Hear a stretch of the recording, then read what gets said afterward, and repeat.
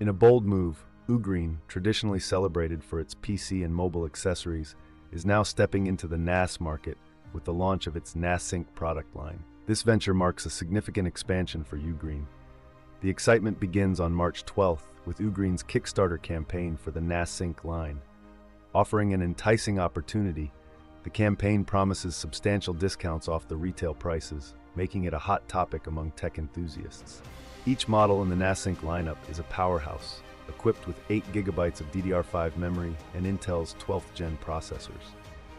Not just that, they come ready with UGOS Pro software, setting a new standard in the NAS space. Affordability meets innovation with the NASync DXP 2800 starting at just $240 during the crowdfunding phase.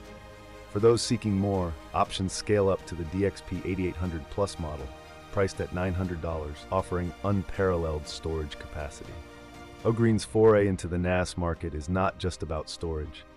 The NASync line distinguishes itself with features like DDR5 memory across all models, challenging existing NAS solutions and setting a new benchmark for innovation.